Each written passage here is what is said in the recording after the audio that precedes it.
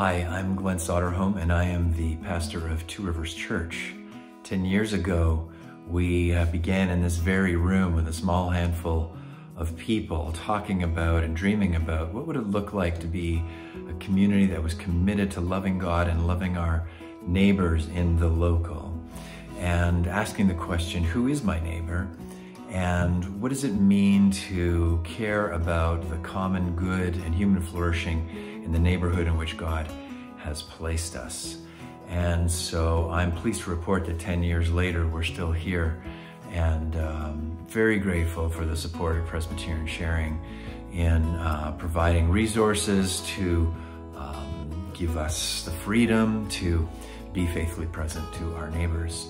Um, uh, the best way of illustrating God's goodness is through a story of meeting a young woman named Heather uh, as I was working with the Downtown Neighborhood Association.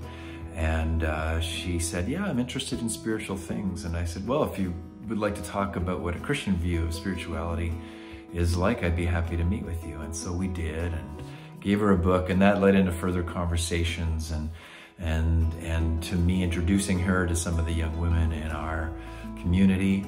Um, next thing you know, she ended up also in this space listening, keen to take notes and ask questions. And, um, and then one morning we were having coffee and I said, you know, Heather, just judging by the things that you're saying, it sounds like you're in. And she said, yeah, I'm in.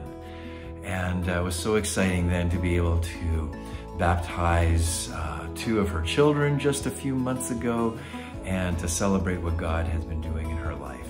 And these are just things we can be thankful for because of what has happened through Presbyterian sharing.